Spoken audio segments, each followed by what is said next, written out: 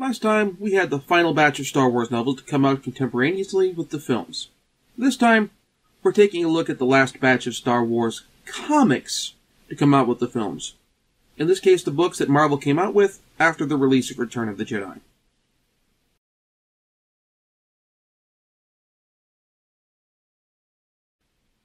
From what I've been able to determine, after the release of Return of the Jedi, as far as people in the th- positions of authority at various publishers and licensing companies were concerned, everyone was done with Star Wars. Nobody wanted any more Star Wars. The story was over, everyone would just move on to something else. There'd still be action figures once the current license had expired, but that's it. And that applied to Marvel's pretty much as anyone else. No one wanted more Star Wars books, nobody wanted to do more Star Wars comics, and that leads to the problem of Marvel. Because that is reflected in the title. The book is no doubt still selling, and Marvel had certainly seen the benefits of keeping one creative team on a single title for a long run, with Claremont at this point now writing X-Men, and Bill Mantlo and Sal Buscema writing and draw, doing art for Rom Space Knight. So at this point, we see Mary, we see Anne Duffy remain on the book for the remainder of the run. And we see a few artists come in and out on the art side, though. In particular, we get Bill Sienkiewicz on covers for quite a while, and pencils in the book done quite often by Cynthia Martin, among others. But there's a lot of turnover in the art department.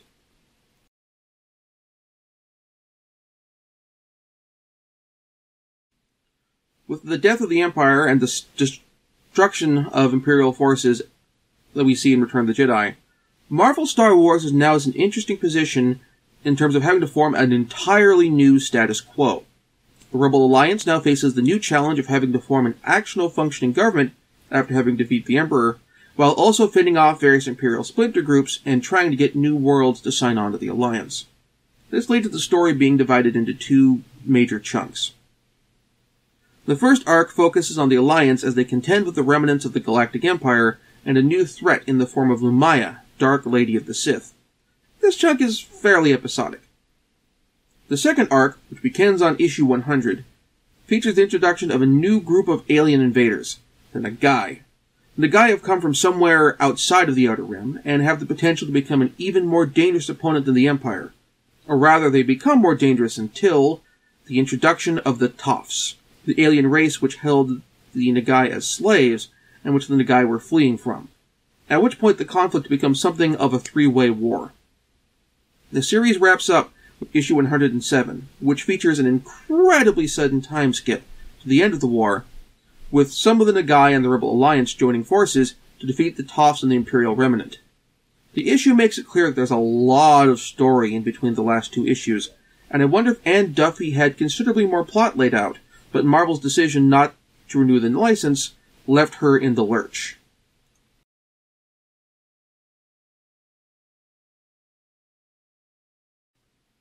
Issue 86, which features Leia and an Imperial Stormtrooper from Alderaan in an enemy mine sort of situation, ends up providing a bunch of posthumous world building for Alderaan.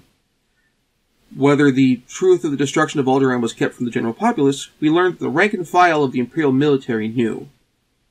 Also, in the comics at least, Alderaan was a traditional monarchy as opposed to the sort of hybrid constitutional monarchy that we'd see in the form of Naboo in the prequel era.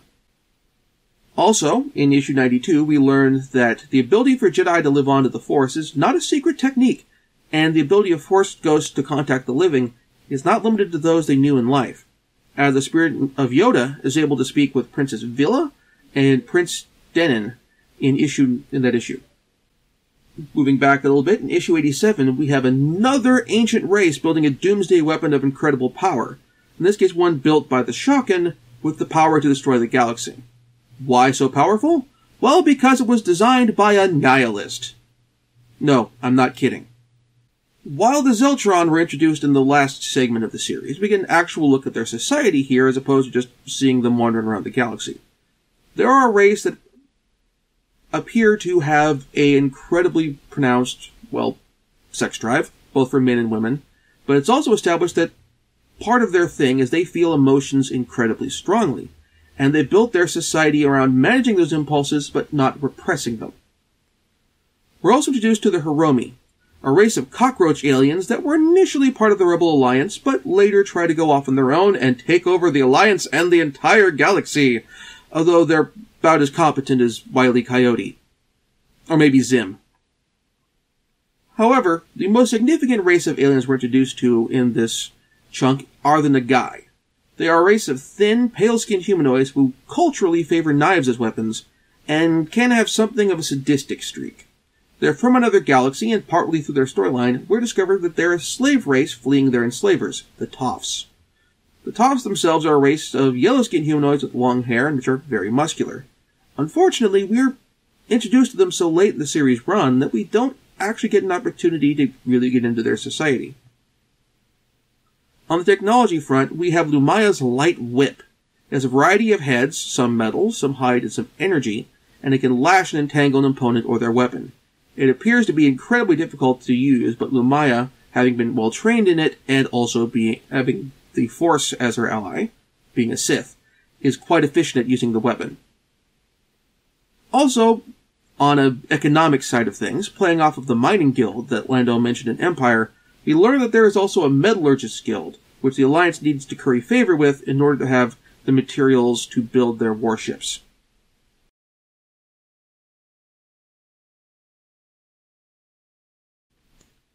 Luke did not tell his friends about being Vader's son right away. He is also reluctant to teach other students for fear, fear of being responsible for causing them to turn to the dark side, as his father did.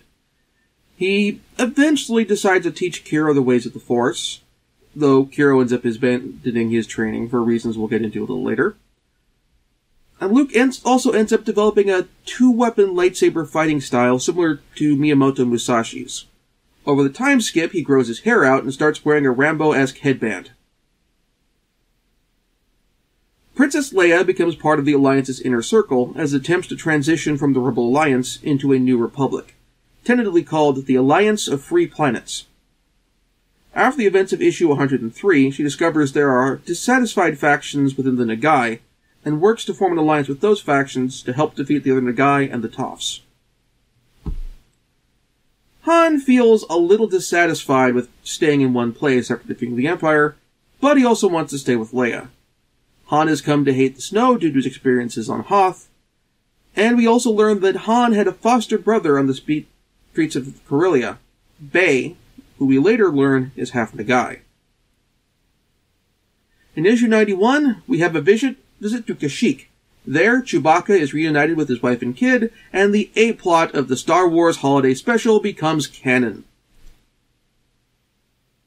Lando manages to mend fences with Treball by giving him the statue that everyone was chasing after in that story where Lando dressed up as Captain Harlock. Also, continuing with the Lando is a secret otaku thread, Lando has his own ship called the Cobra, as in Space Adventure Cobra. We learned that R2 has a hard point for a blaster. Darth Vader, we learn, has had basically two secret apprentices. Flint, who was introduced in the third annual, and Lumiya. Flint, I should mention, looks a bit like Ben Solo or Kylo Ren. Mon Mothma does some field diplomatic missions, one of which leads to her being captured by Lumiya's troops, and she helps fight back after being freed. However, she ends up shutting Han, Luke, Lando, and to a degree Leia out of the inner circles of Alliance government after they miss an important meeting. For some other goddamn reason, she also grounds Han and Luke after they fail or miss a written flight exam. Admiral Ackbar is also involved in this piece of bureaucratic dickery. Fett survives his initial fall into the Sarlacc and escapes, only to end up back in the Sarlacc after being rescued by Jawas who think he's a droid, and ending up on their sandcrawler when it goes crashing into the Sarlacc. Presumably the Sarlacc is killed by this. Or it's much, much more rigorous and can endure more punishment than we think. Lumiya, Dark Lady of the Sith, is introduced in this portion of the series. We previously knew the character as Imperial Double Agent Lieutenant Shira Brie. She was believed killed in action by Luke, but was later revealed that she was actually framing him for a friendly fire incident. However, during her recovery, she develops a personal vendetta against Luke for her injuries. Lumiya becomes leader of the Imperial Remnant before joining forces with Nagai and then the Toffs, basically shifting her allegiances to stay with whatever side Luke isn't on. Dani is the main Zeltron character we've seen over the course of the series. She was introduced in the last chunk, but only as a guest character who we see off and on, but not for any real long durations of time, and we see her fall for Luke. Here, she gets over Luke and falls for Kiro, one of the aquatic people of planet Iskalon. However, she has her heart broken after she is tortured by the Nagai, and Kiro is presumed killed at their hands while trying to rescue her. From there, she is utterly consumed by hate for the Nagai until, at some point in the time skip, she's talked down by Leia. Now for Kiro, as with Dani, he's a brief character from the last chunk of the series who formed a close bond with Luke, and he's a bigger recurring appearance in this part.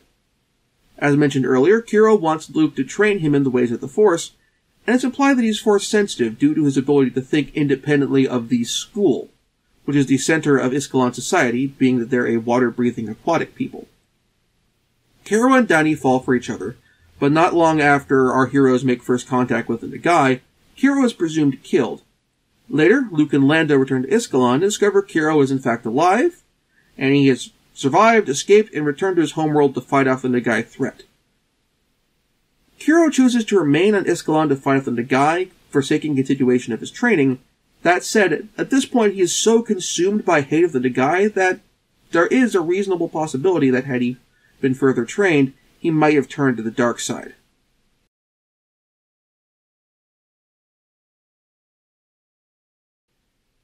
The last issue includes thanks to a lot of Japanese readers and fans, which makes me suspect that the series had a very significant fan following in Japan.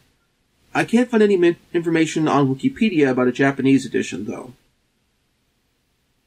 With the episode on Kashyyyk, I wonder if Jo Duffy watched the holiday special, or if she managed to get a list of important story notes from the special and was thus able to avoid actually watching it, dodging that blaster bolt.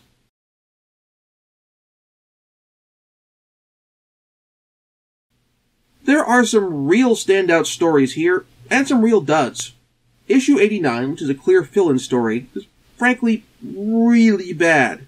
It completely ignores internal continuity on the series, which is glaring considering that the writer of this issue, Ann Nocenti, is also the editor of this series at this point. In particular, Luke is acting very out of character here. He acts and almost looks like Luke from just after A New Hope, where he was young, brash, and impulsive, not the more mature Luke from after Return of the Jedi, which is when this issue is set. I know Nocenti can write better, and with Louise Simonson, who had previously edited Star Wars, guest editing, I know that it should be better. I don't know what happened here. It feels like a planned issue was delayed for some reason or another, and rather than miss a month, Nocenti threw something together, um, basically on her own, and grabbed Louise Simonson to co-edit the issue to make to handle that part of things. The core plot beat of this issue is that a character was believed to be murdered actually committed suicide, but there is not enough time in the issue for that to have happened off panel as things are laid out. What? How could they miss each other? Space is warped and time is bendable. Otherwise, the final version portion of ah, start over. New cut. Otherwise, the final portion of Marvel Star Wars looks like it's going to bring a lot of plot threads from the interfilm period together, and it basically succeeds. The primary place where it stumbles is because the end of the series is so rushed.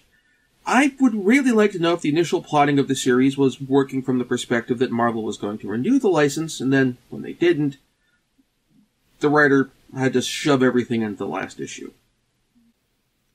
It's interesting to note that, the, that ah, it's interesting to note that the Nagai Toth Alliance War is generally ignored in the Legends canon, with the distinct exception of Lumiya.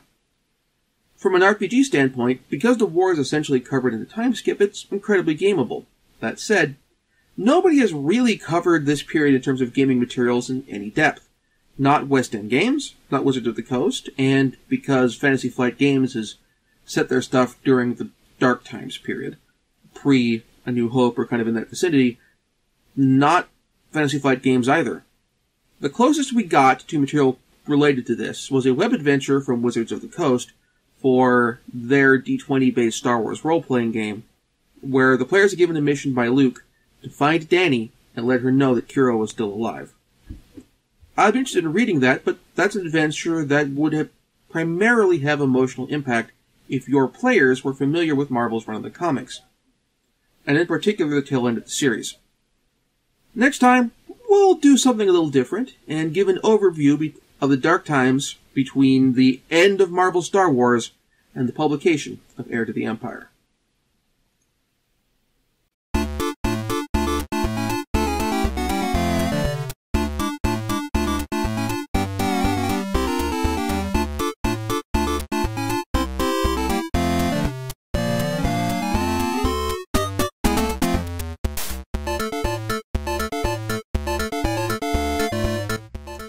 Thank you very much for watching. If you enjoyed the show, please like this video and subscribe to the channel to be notified when new videos come out.